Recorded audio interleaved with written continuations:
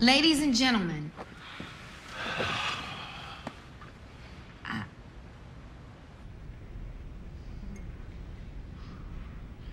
Child, I ain't from there. Just read the teleprompter, Mom. My name is Cookie Lyon.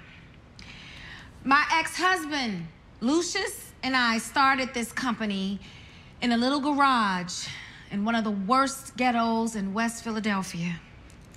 Yeah. Some of y'all probably have a few ex-wives, so so you know I'm not gonna be standing up here telling you all this mushy stuff about what a fine man my ex is. What the hell's she doing? Lucius Lyon is a musical god. And he's also a crazy son of a bitch that had a dream. Still has a dream. And nobody better ever try to get in between Lucius and his dreams. We were hustlers.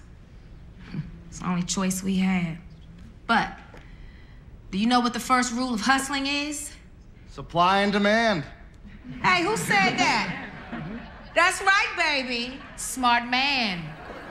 That's right, you create your own customer base. Give them some of that good stuff. Make them want more.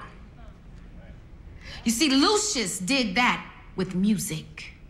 He created a sound. They call it the Lucius Lyon sound. Y'all know it, or else you wouldn't be here. Lucius's music took the street mainstream and made the mainstream feel street. Everything Lucius touches turns to platinum, and that's a fact. He started out doing it with the music. Next, he did it with over a dozen profitable entertainment and merchandise divisions. And now, he's gonna do it with your money. If you're lucky enough and smart enough to put it in his hands.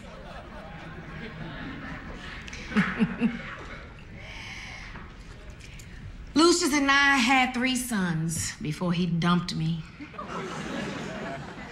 Our oldest son, Andre, is the CFO of this company.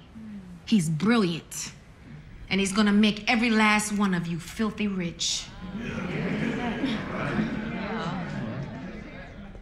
other two sons, Jamal and Hakeem Lyon, they are living proof that empire is more than just one man's dream. It's a dream come true that's ready to be passed down to the next generation and the next and the next. And you all can be a part of it.